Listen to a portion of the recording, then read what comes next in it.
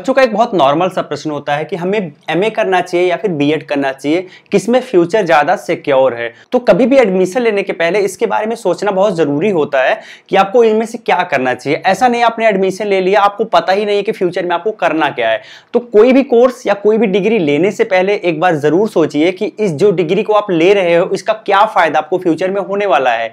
और ऐसा तो नहीं कि आपको करियर कहीं और अपना देख रहे हैं और डिग्री आपने कोई और ले ली। तो फिर फ्यूचर में दोनों लिंक नहीं होंगी आपको प्रॉब्लम होगी। तो कभी भी जब आप एमए करने वाले या फिर बी करने वाले हैं, आपके मन में कुछ सवाल आने चाहिए। पहला तो ये है कि आप अपना करियर कहाँ देख रहे हैं? जैसे मान लीजिए, अगर आप असिस्टेंट प्रोफेसर के लिए देख रहे हैं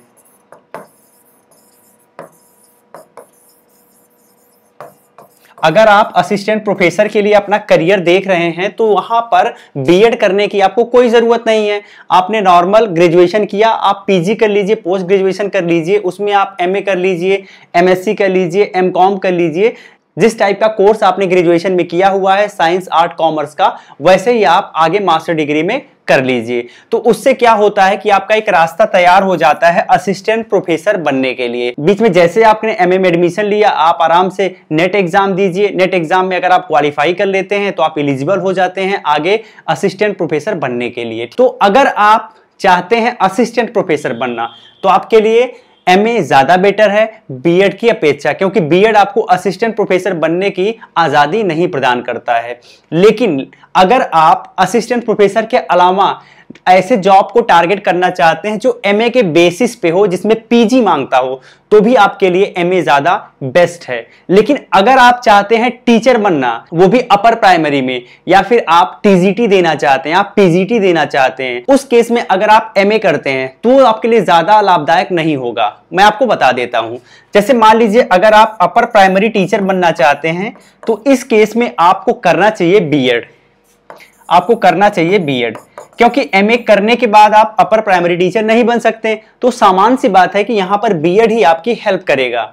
इसके अलावा अगर आप टीजीटी देना चाहते हैं टीजीटी का मतलब होता है टेंड ग्रेजुएट टीचर तो अगर आप टीजीटी देना चाहते हैं और हाई स्कूल के टीचर बनना चाहते हैं तो इसके लिए भी आपको करना पड़ेगा बीएड अगर आप एमए करेंगे तो यहाँ आपके लिए कोई मतलब नहीं है एमए का।